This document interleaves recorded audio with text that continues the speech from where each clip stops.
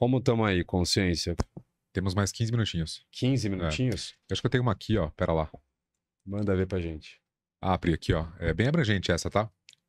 Quais as características de um homem de valor e de uma mulher de valor pra você? O que, que é essencial?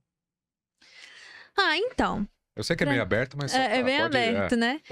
Mas enfim, é, eu acho que a pessoa de valor é, é muito pessoal, sabe? Tipo assim, você tem a mulher de valor pra você e eu tenho homem de valor pra mim. Então, assim, isso é muito pessoal. Por quê? Porque pra mim, a pessoa de valor, ela vai ter que ter valores convergentes com os meus. Entende?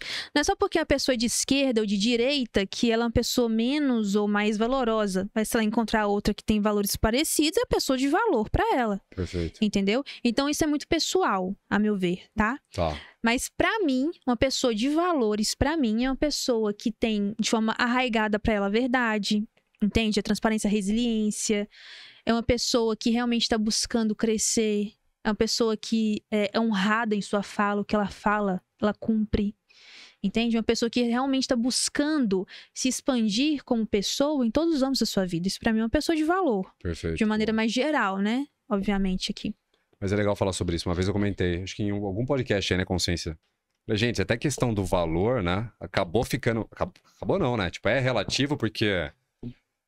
Ai, Para algum, algumas, pra algumas mulheres, um traficante tem mais valor do que um policial, entendeu? É Então, pessoal. assim, qual que é a percepção de valor? Vai muito tipo de cada um.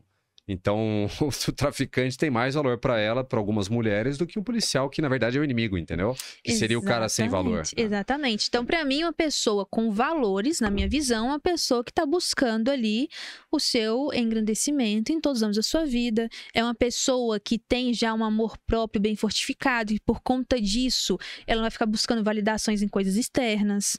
Então, é uma pessoa que ela está muito segura em si, no sagrado, e pra mim também é uma pessoa de valor. Ela tem uma, ela tem uma crença em Deus. Ela tem uma espiritualidade, porque isso pra mim é muito importante. Então, o meu- os valores pra mim estão muito baseados nisso, sabe? Em questões mais essenciais. Eu gosto muito da filosofia estoica, sabe? Uma pessoa que tá desenvolvendo as virtudes, Perfeito, exato. entendeu? Então, isso pra mim é uma pessoa de valores.